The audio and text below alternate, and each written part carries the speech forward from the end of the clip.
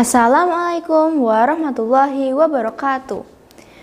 The Honorable Judge, ladies and gentlemen, and all my beloved friends.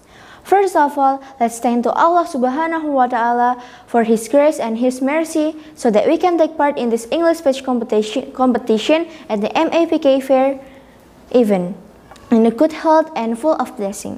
Amin.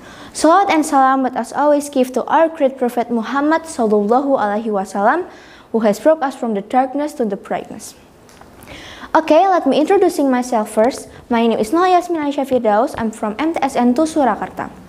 Well, dear brother and sister, before delivering a speech on encouraging reading habits among millennials, I have some question for you as millennials. 1. Do you have specific schedule for reading a book? 2. How many books do you read in this one last year?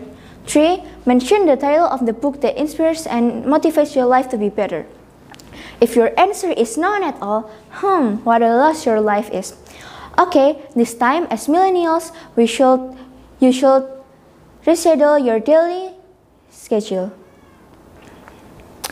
Dear brother and sister, books are window to the world that can open horizon to through knowledge.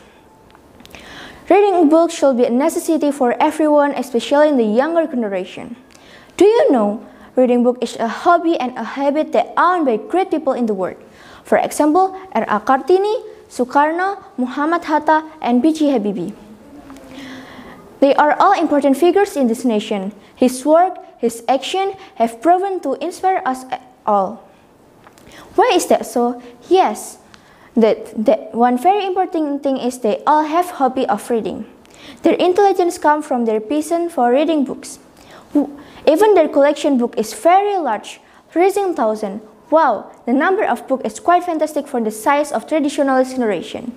The, the generation born during the Great Depression. Yes, it was called Great Depression because at that time it was in a global economic crisis and in a living state of complete deprivation. Well, what about us? We live in digit we live in modern and digital era. Information is easily and quickly obtained as information disseminated by digital technology and using computerization system that connected to the internet.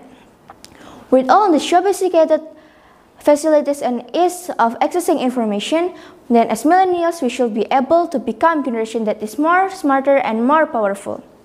Dear brother and sister, there are several ways to increase reading interest among millennials.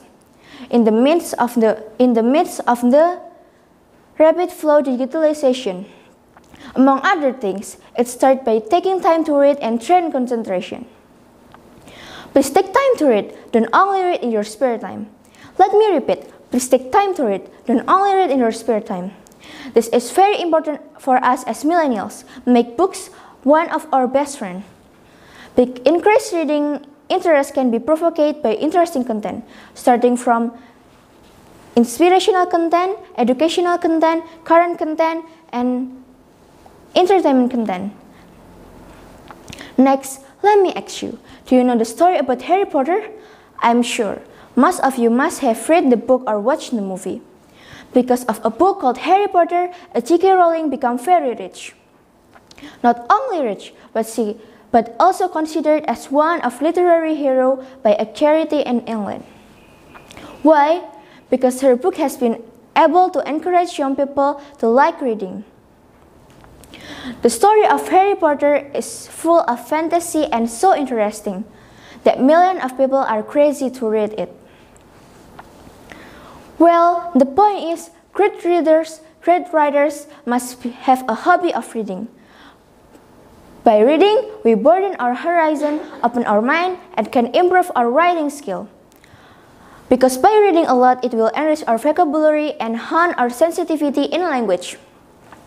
Well, millennial friends, start from now. Take time to read, make a regular schedule and set target. Just any type of book that can provide useful value. Somehow, books that have useful value will motivate us to become better and more successful individuals to reading regularly and continuously. I am sure that you are the candidate of success in the future. Okay, literacy greetings. I think that's all from me. Thank you for your attention. Wassalamualaikum warahmatullahi wabarakatuh.